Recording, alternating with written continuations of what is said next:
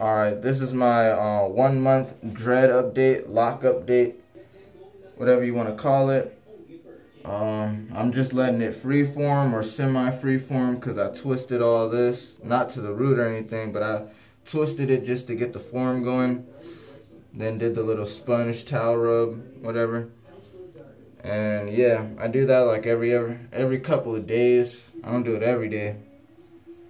And I just do nothing to it. I wake up and I just and I be about my business.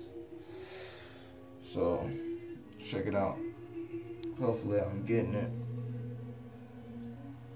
I can't see that shit.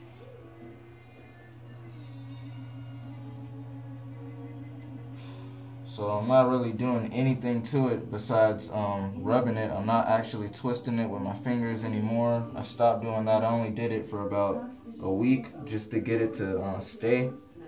But I just do the towel rub every couple days. Get the sides tapered, but um, I don't know if I'm gonna do it anymore.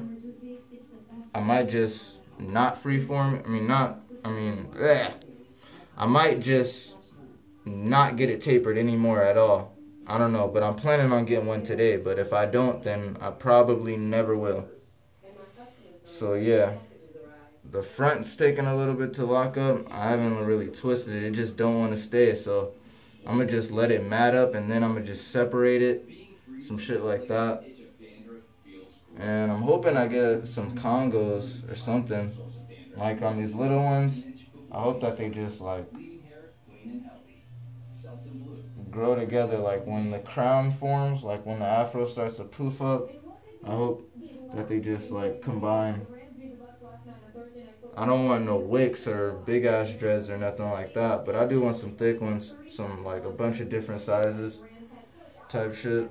So yeah, I guess I'll see y'all in about a week or two or a month.